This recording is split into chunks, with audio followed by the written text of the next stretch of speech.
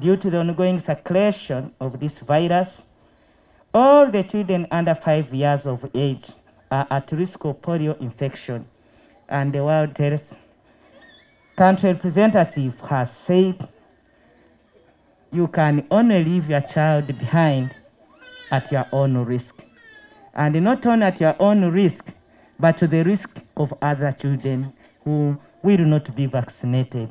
The RDC has emphasized it, and she has said, of course, as her mandate as the chairperson and the leader of security in this district, she will be out to look out for each and every baby that is supposed to be vaccinated. to do a house-to-house vaccination of polio. And I would like to reassure you, it is safe because all the necessary uh, activities and materials and everything is ready to ensure that this is a safe vaccination campaign where infection prevention and control measures are all taken into consideration and arrangements are uh, done.